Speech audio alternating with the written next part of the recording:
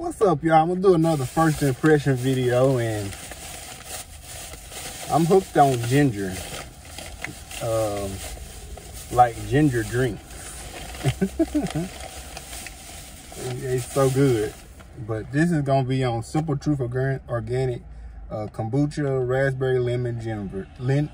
Raspberry Lemon Ginger. Got live probiotics in it. it says USDA Organic, non-GMO. Get a thumbnail. uh, guess we'll read the nutritional facts and then we'll read the uh, ingredients. It says contains 5% juice, nutrition, well, 5% juice, uh, serving size one bottle, 449 milliliters, calories, uh, amount per serving, uh, 80, total fat is zero grams, saturated fat, zero grams, trans fat, zero grams, cholesterol, zero milligrams, sodium, 20 milligrams, total carbohydrates, 21 grams, dietary fiber, less than one gram, total sugar, 20 grams, gluten, includes 18 grams added sugar, uh, protein zero, vitamin D is zero mcg, iron is 0.1 mg, calcium is uh, 30 uh, milligrams, uh, potassium is uh, 30 milligrams. It says ingredients, purified water, organic kombucha. It says water, organic sugar, active cultures, organic black tea, organic sugar, organic raspberry juice, concentrate, organic ginger. Ooh, that ginger, y'all. Ooh, I love that ginger uh, ginger juice, organic lemon juice, concentrated natural flavors, bacillus, uh, goagulanins.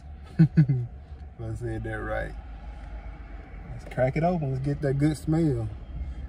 And one thing about these, don't shake them up. They'll, they'll spew on you.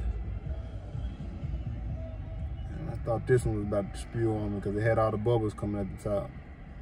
I know from drinking some of the other ones, I shook them up and that sucker spewed on me. Let's see what it smell like, y'all.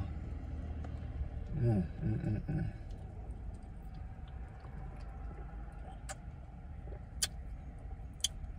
Can't really taste the ginger, but these kombuchas, I just love this the little, the little twang they have to them.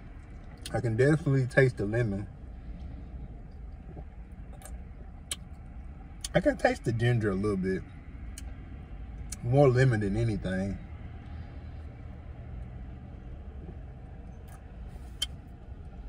Oh, it's delicious, y'all.